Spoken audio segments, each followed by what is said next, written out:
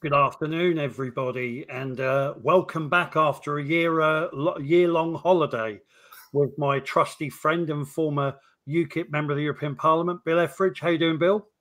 Very well, mate. Very well. How are you? Yeah, all good, all good, all good. Well, I, look, I wanted to do this show to talk about uh, Kwasi Kwarteng. I think I'm pronouncing his name right. Uh, the new Chancellor of the Exchequer's uh, budget, which um, you, you know you're never going to please everybody. Um, but I have to say, from the from what I do professionally, it's definitely well from April next year. It's definitely going to benefit me from so IR thirty five perspective. But um, I wanted to have a quick chat, Bill. You're you're somebody that uh, that has a little bit of a dealings with regards to the economy. What was your take on Kwasi's budget?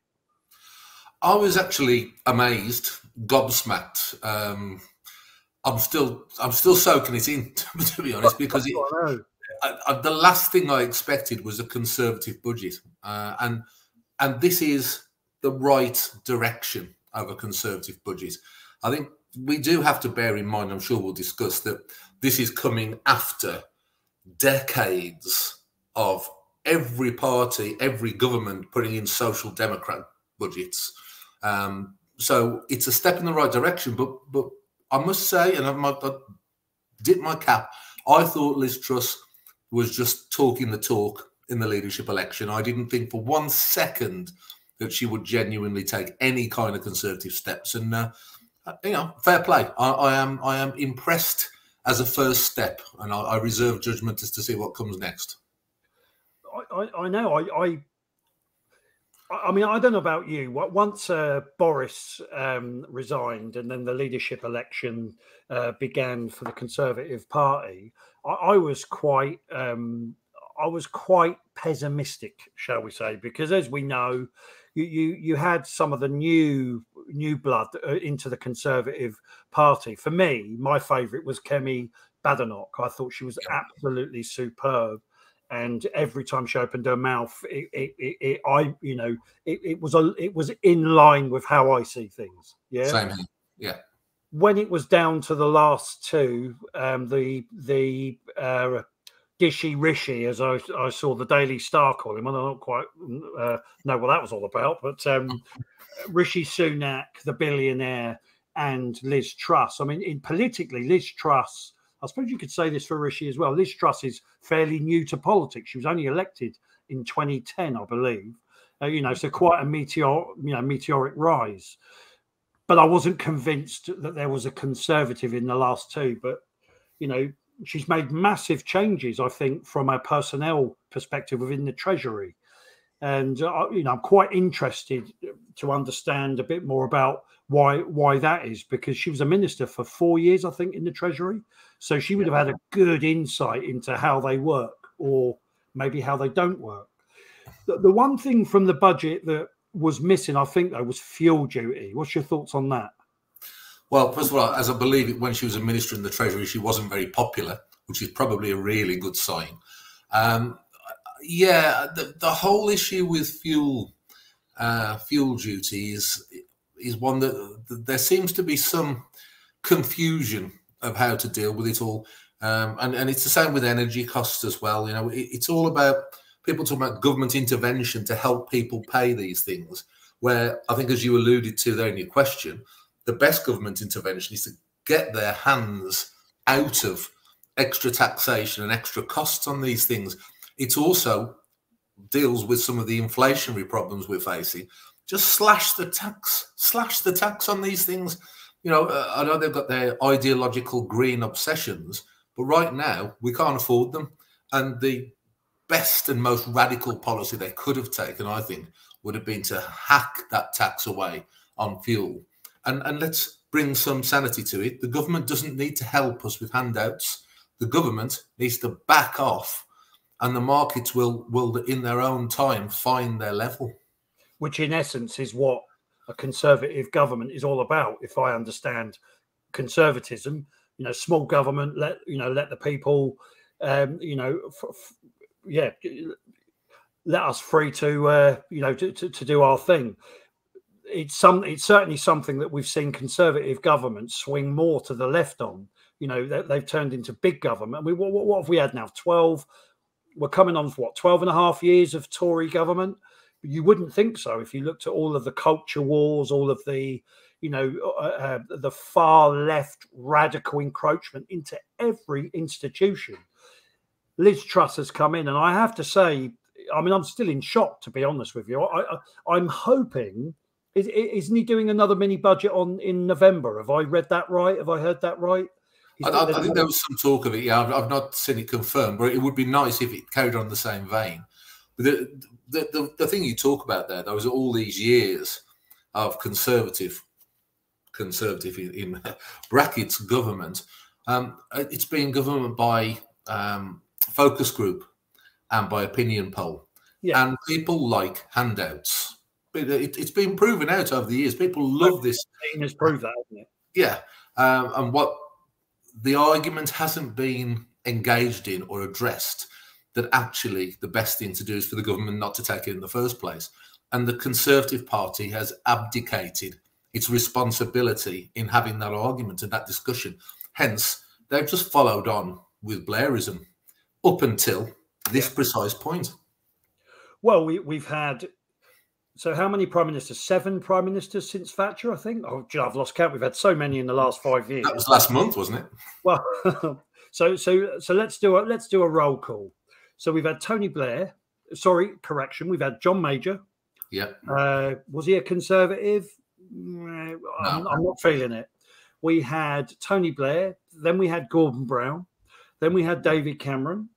Then we had Theresa May and now we have sorry then we have boris johnson not a conservative in uh, since thatcher uh, at all uh, with regards to the conservative party. But now we've got liz truss. What what do you know about her? Do you know much about her? I know that she's risen as you you mentioned. She's risen about as much as i know. She, she was um, she was a lib dem in her younger life uh, and she was brought up in a, a sort of middle class background and um, brought up to believe in many of the values of the, the Liberal Democrat Party. Uh, she's had something of a conversion, it would seem, over recent years. She was either a very energetic or with a very good publicity team when she was in charge of striking the foreign deals uh, after Brexit. I mean, she she really did look the part there. Whether or not that was good spin or whether she was. Oh, really credit where credit's due. She did look good. Yeah, I mean, she she was. It looked like every other day she was going somewhere and striking a deal. So so you know, great respect to that. Uh, but I think she's something of a rookie when it comes to hitting the top job. But maybe that's, that's what we need. What we needed when Mrs. Thatcher hit the top job. She'd not had experience in the great offices of state. Education had been her highest position. Um, and I think she probably hadn't had time for them to get their hooks into her and tell her what can and can't be done. And, you know, far from comparing Liz Truss to the great lady, but maybe there's a similarity there in that one respect. I, I, I have now, for quite a few years, been very worried about the top of the senior civil service. I would say since um, I believe it was 200 civil servants uh, top civil servants signed a letter and handed it to Theresa May requesting she um, put forward a, a, second referendum on our relationship with the European Union. I think since then that that that certainly caught my eye, and I'm wondering now. I mean, we've had again to to to you know parrot what I said earlier. We've had 12 years of so-called conservative government, and yet we've gone so far left now that you and I do qualify as far right because to all of the far left, we can only be far right because we're so far away from them.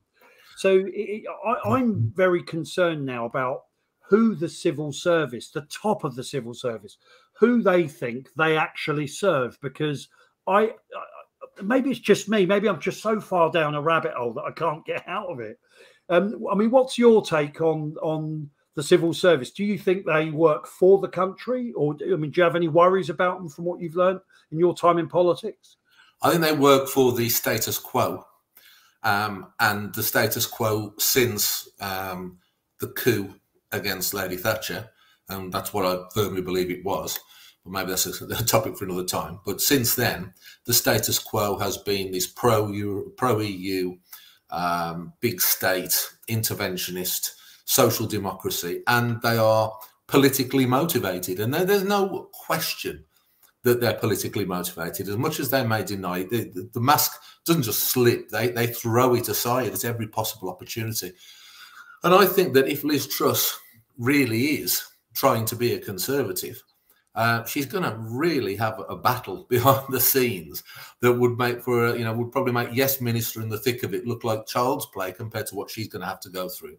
Um, I, am concerned that they'll take the wind out of her sails, and I think that they might find lots of things for her to be busy with that will take any radical attempts to embrace real conservatism away and, and thrust her back towards this one nation conservatism, which is basically socialism. Well, this, this is where you need strong secretaries of states, so you know to, to help her because she, you know, the, the only person that has real power, the only elected person that has real power in British politics is the Prime Minister. The Prime Minister carries the authority of the monarch. Yeah. Mm-hmm. Uh, she, obviously, in this case, she, she is the only person that can remove a permanent secretary. Yeah, a Secretary of State cannot remove their permanent secretary. Now, what the reason I'm saying that is it was quite interesting. If you look at the Home Office in the time of Sajid Javid, and and and then obviously his successor, who then was Priti Patel, uh, Sir Philip Rutnam seemed to obstruct, and I think that's why he banged heads with Priti Patel, and ultimately Boris Johnson removed him from his position. Yeah. Um, that's at least how it was reported. I don't know the ins and outs, the intricacies, but but I felt it very that that was a good example. I mean, that was over the rape, um, the grooming gangs. Should I should I say report? Do you remember that? It, it was yeah. reported in a few of the newspapers. So yeah, I mean, who who knows? Let's you know, it's very early days. She's been in post what three weeks now. Well, one or three weeks. can, yeah, can, I mean, you, you, imagine being? I mean, I've got no brief for her. I, I, I, haven't voted Conservative and probably won't. But two or three days into the job, and Her Majesty passes away. Yeah. I mean, how extraordinary um, to be in that situation, and then to put in this uh, controversial budget almost straight afterwards. I mean, whatever we may think of her, she's certainly hit the ground running, and. Uh, yeah. I would like to have been in her shoes this last couple of weeks. I must say. It, it, well, I mean, if you're, you know, if you put your put yourself up for it, you know, she, she's she's had exposure of government frontline work, so you know now she's in the big job. And I have to say, from what I'm hearing, you know, sorry, not from what I'm hearing, because if if what I'm hearing from the mainstream media, she's a female um, Adolf Adolf Hitler, German type bloke. Yeah. but from what I'm seeing, the evidence that I'm seeing from her, and especially Kwasi, uh, I like, you know, I, li- I like what I'm seeing. It's very early days. It, do- it doesn't cover all of our economy, but at least it makes some. It, look, I'm happy because every time he opened his mouth, it, it, benefited me. So I'm completely selfish. You know, it, I, I was happy. So if you go back to if you, if we go if we swing it back to the budget, um, I, am hoping he's going to bring in some fuel, you know, some relief on on the uh, you know the price of fuel at the pumps in in November. What what do you think the realistic chances of that are? I think that's going to be the subject of an internal battle within that government because there are still going to be elements within the government and certainly within the civil service who are obsessed with the climate change agenda and with the belief that what a way of, of showing themselves, if you know what I mean. Yeah, um, yeah. So I, I, I, I think that too. But yeah, it's interesting times. Interesting times. What what's your take on the rest of the governmental, uh, um, shall we say, postings? So, for example, Suella Suella Ferdinand, as her name is now, the former Attorney General, who has now taken on the Home Secretary role. I mean, that's another one. That's another bag of uh, a, bag of hornets. Is the um, the Home Office? Well, I mean, she she's another one who's always talked a good talk, uh, and as I recall, I think Nigel backed her in the leadership campaign. Um, but I, I'm gonna I sound terribly jaded and, and cynical, but I don't believe any of these people until I see them in action, until they do what they say they're going to do. I've experienced 20 years of conservatives lying through their teeth well, to get that. position. Um, and, and obviously doing it, you know, just clearly, blatantly saying one thing and doing another. So she sounds good, but Priti Patel sounded good. For one reason or another, it didn't happen. And you know, the whole, whole concern with all of this is that sound bites don't don't do anything. They don't make any difference. All they do is win over. Uh, it's dog whistle politics to try and get your own members and your own supporters to back you. But when it comes down to actually doing it, I mean, for example, with this mini budget, by the way, did they talk to the Bank of England first? Because at the same time as, as, they're doing this, the Bank of England puts interest rates up. And are they budgeting for growth or, or what? Are they pulling against each other? Now, that could just be naive, or it could be someone deliberately trying to undo what they're doing. You know, there's so a lot. I believe, I believe it's the latter. Yeah, possibly so. But you'd have thought that the government, oh, I know the Bank of England is supposedly independent, and that's a, another vexed issue because I'm not convinced about that either. But you'd have thought they'd have had some form of communication. And if every time they try and do something, they're going to get undermined, yeah, then we're going nowhere, and, and that's yeah. that's my concern.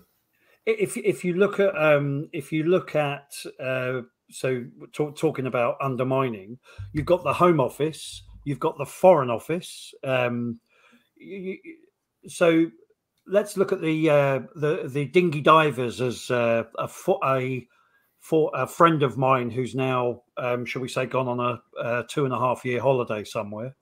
Um, I, I, got this. The- I got this theory. So hear hear me out, right?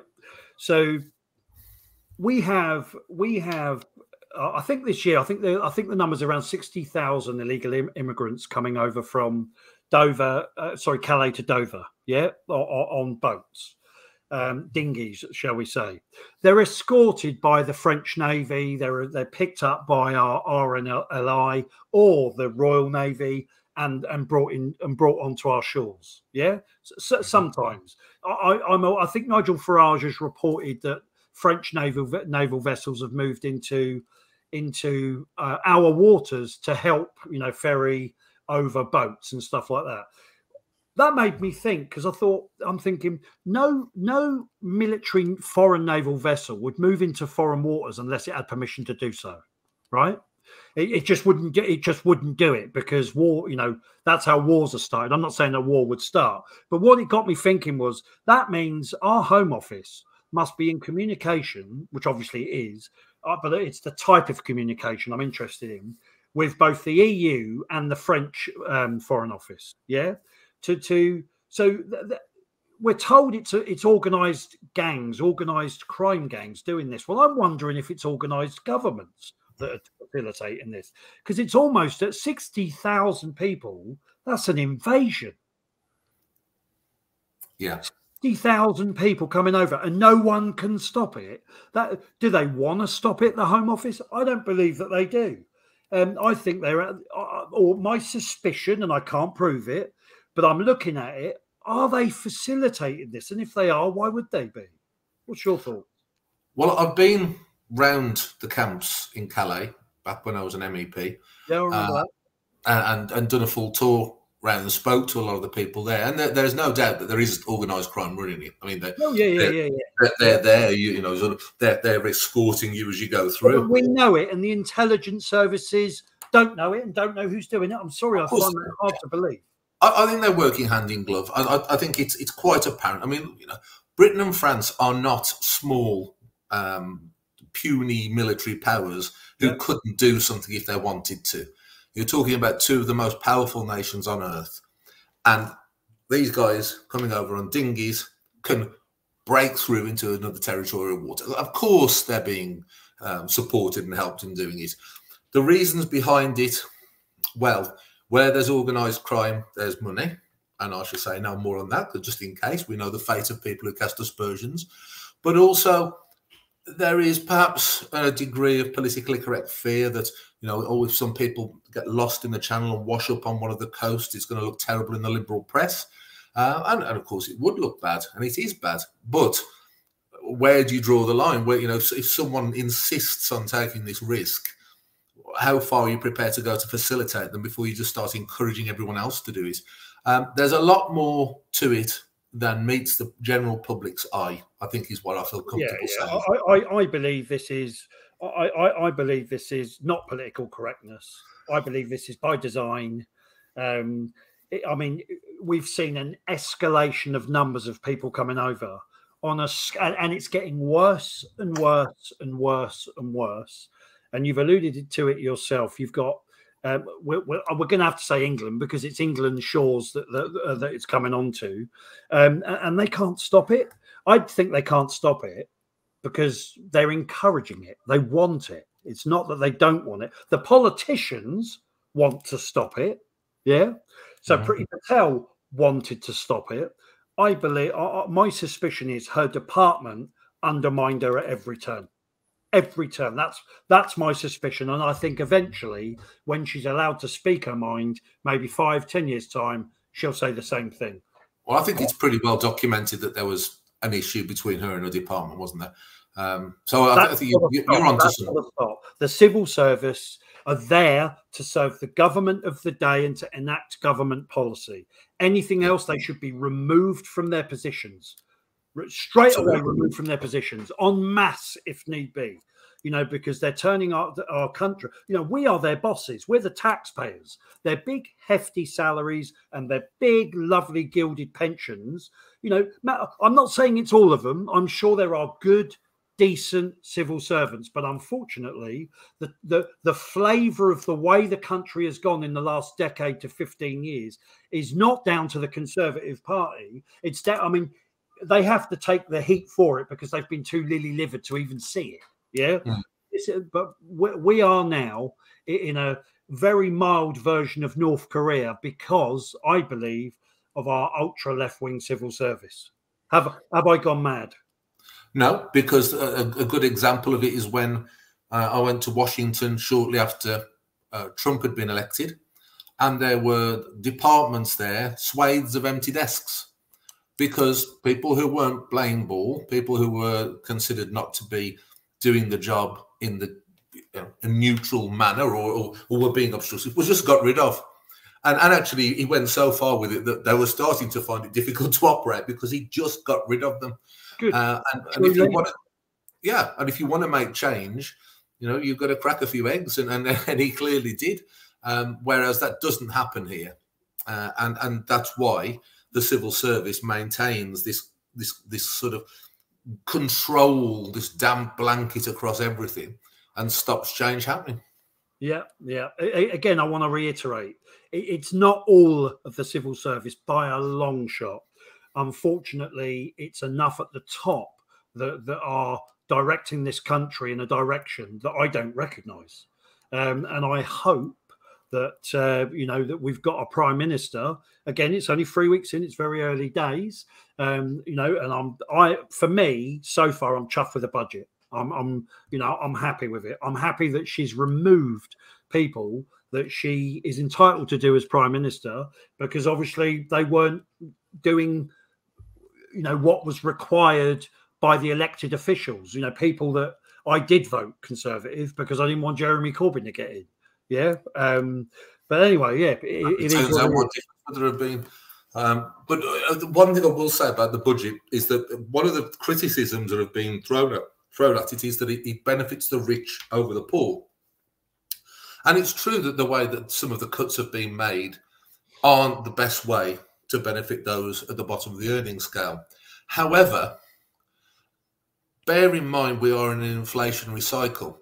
If you're going to cut taxes, in this period of the cycle, it's probably better to cut it for those at the top because they will probably, probably, because it's not an exact science, invest it.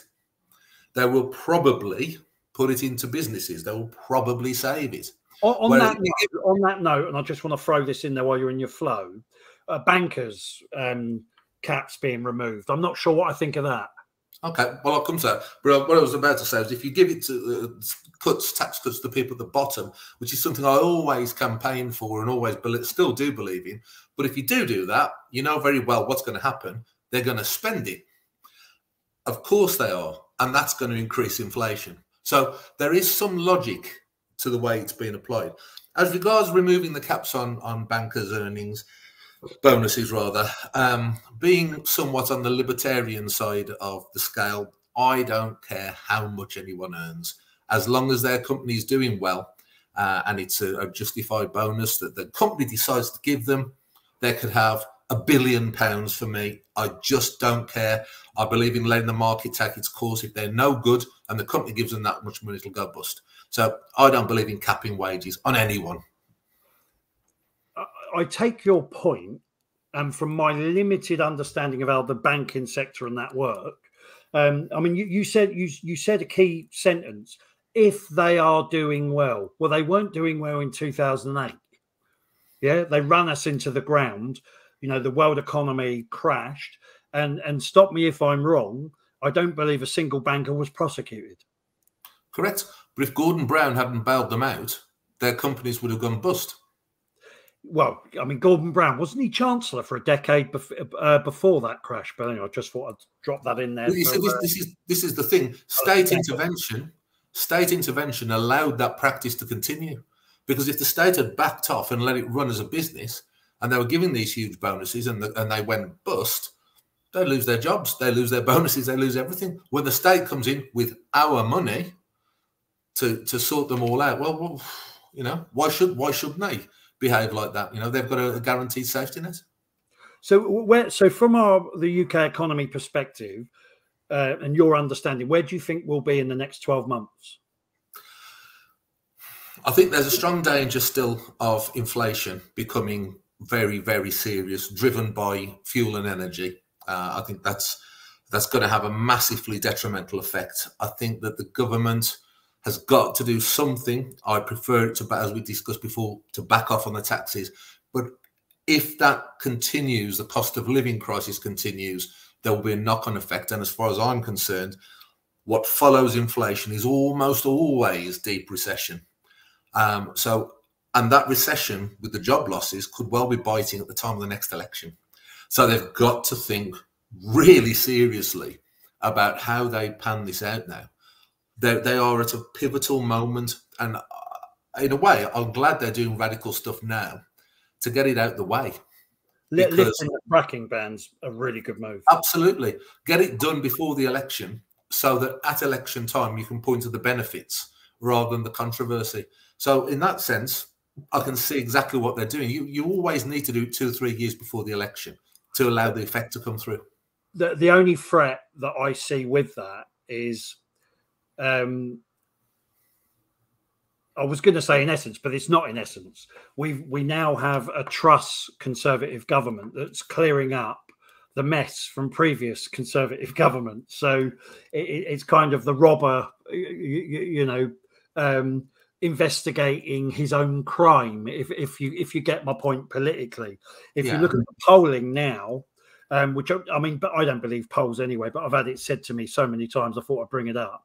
You know, if there was a general election tomorrow, these polls would suggest that um, a party that cannot even describe what a woman is, the Labour Party, would be in government. If not, they would be in government propped up by the fascistic uh, uh, SNP. What's your thoughts on that?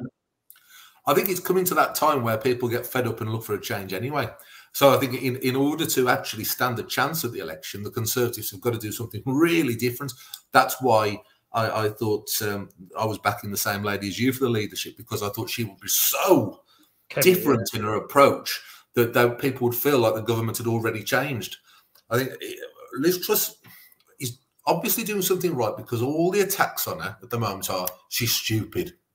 Now, if someone attacks someone for being stupid, it means you can't argue with actually what they're putting oh, forward. Yeah. And so I, I, think that she's doing something right, but she has to have the strength to really push hard these next six to 12 months, really get stuck into it. And, you know, cynical ex politician as I may sound, I think if she really puts in the, the painful miles now, with changes, she can portray herself as the fresh person who's who's put things right at the next election with a, an economy that's looking better. And people have got really short memories. And they won't remember what's happened the decade before. They'll just think, "Oh, great, you know, we've got Maggie Mark two," and and and she'll she'll possibly win. If she doesn't, they'll certainly lose. Right, I'm I'm going to. Uh, uh, if I start coming up in scabies and everything else, it's because uh, just just bear with me. There is a positive to Labour winning the next general election in their conference, and uh, you know they're after PR now, yeah. Yeah, yeah. Yeah, I saw them say that. I don't believe them. Uh, well, it's actually it's actually been so the the uh, NFU union voted uh, for it overwhelmingly as well. That really surprised me. And mm. one of the unions did, and for love nor money, one of the other unions, for love nor money, I can't remember who it was. My mind's just gone blank. So I think there is a real push for uh, PR now. I, I, think that's because they got such a kick in in the last general election that they, they, mm. they I think they they're beginning to realise that they don't identify with with any voter base really anymore. You know, they're, they're gender confused. Um, that, you know, they can they have a real problem with anti-Semitism, as the Metropolitan Police uh, confirmed. Um, yeah one of their stalwarts. I know he's not in the Labour Party now because of Sir Keir Starmer, but Jeremy Corbyn. Do you see his comments made about the national anthem being sung at the Labour conference? I don't know if you've seen that. I'm guessing he wasn't impressed. No, he wasn't impressed at all. He said, oh, "I don't understand it. I don't get it. I don't understand it. I don't get it." I'll, I'll find a. I'll get a YouTube link to it and add it into the details of this. But you, you know, you're thinking these people just don't understand Britain at all. I, I, you know, um, nothing they've got on offer. It's all false promises. Oh, Sir Keir Starmer says that um, we'll we'll hit net zero in six years after getting in government. Well, how are you going to fund that? How am I going to fund that? How is the working class person going to be able to fund that? I mean, it's just all pie in the sky promises. But um, the PR bit did interest me. I think they've got some real. Um, I think they've got their teeth into it. I don't understand fully why they have the Labour Party, but they've got their teeth into it. So it may not all be doom and gloom. Maybe, but I think you tend to find that parties that are in opposition are always really keen on PR, and then parties that get into government suddenly go off it because they've they've realised they've won during that using the first past the post, and turkeys don't tend to vote for Christmas. So um, I'm I'm I'm sure they've passed the motions, and I'm sure that the way it stands at the moment, they would seem bound to it. I'm also sure that if they won a 50 or 60 seat majority first past the post the next election, they, they, probably wouldn't find time in the uh, in their agenda to fit it in. Yeah, yeah, no, absolutely. Well, well, Bill, it's been fun. So I want to finish off by you telling everyone what you've been doing. Well, I've been developing a charity called Support Futures. Uh, and what we do is we run programs for mental and physical health, helping people, giving them free uh, coaching on both things, uh, people who wouldn't maybe be able to afford it normally. And we pay for that through organising events, darts exhibitions, nights with famous footballers, sportsmen, etc., etc. Uh, it's really challenging, but great fun. And anyone who's interested in it, please look me up on my Facebook page and you'll see all about what we're doing uh, and it's really making a difference in the community. And it's great fun, but it's also hard work, as you can probably tell from how exhausted I look at the moment. No, no, you're doing well. I like I say, I, I follow it on uh, follow you on uh, social media, and I can see some of the stuff that you're doing, and you're getting some good names. I'm coming to one of your events in November where you've got any. Is it an evening with Le An evening with Matt Le Yes, I, I shall. I shall be. Uh, uh, chairman of uh, a host of proceedings asking uh, Mr. Le Tissier some non-controversial questions, as you can imagine.